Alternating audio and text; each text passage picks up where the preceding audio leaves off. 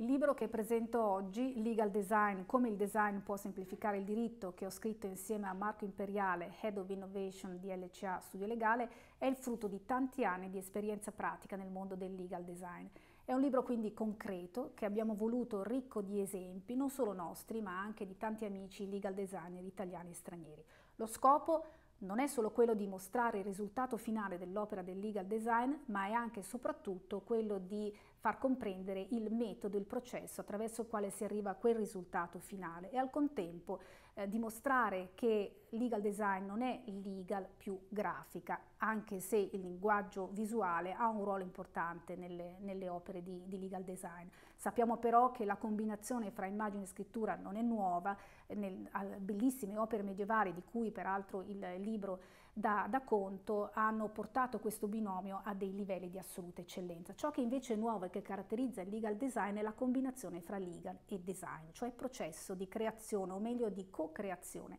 attraverso il quale si riesce ad ottenere un prodotto, non necessariamente un, un documento, può essere anche un, ad esempio un prodotto di tipo digitale, che al tempo stesso dal punto di vista contenutistico è estremamente preciso e rigoroso, è fresco e semplice e, e comprensibile nella forma ed è soprattutto rispondente ai bisogni e alle esigenze dei suoi destinatari. Siamo infatti convinti che il compito del giurista non sia soltanto quello di calare il diritto nel caso concreto, ma quello di applicarlo alle persone direttamente interessate da quel caso concreto, che possono essere destinatari di una norma di legge, di una clausola contrattuale, della previsione di una policy aziendale, ma anche di un'argomentazione giuridica, di una sentenza o di un atto giudiziario.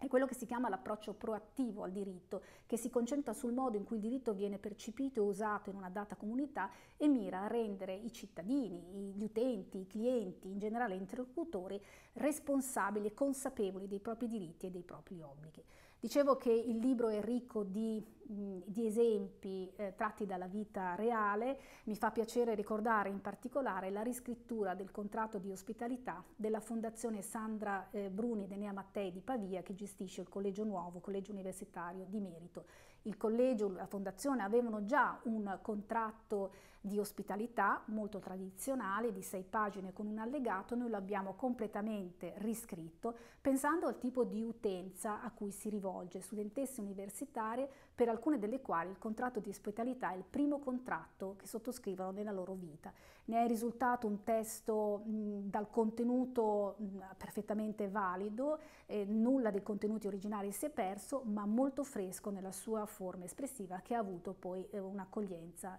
eh, entusiastica. Credo che questo libro possa essere un valido aiuto per tutti quei giuristi che eh, vogliono rendere il diritto più vicino al, al diretto destinatario nell'ottica della sostenibilità e dell'inclusione.